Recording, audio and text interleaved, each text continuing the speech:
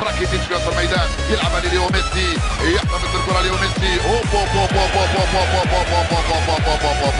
آه يا دافيد سيلفا آه يا دافيد سيلفا ماذا فعل بك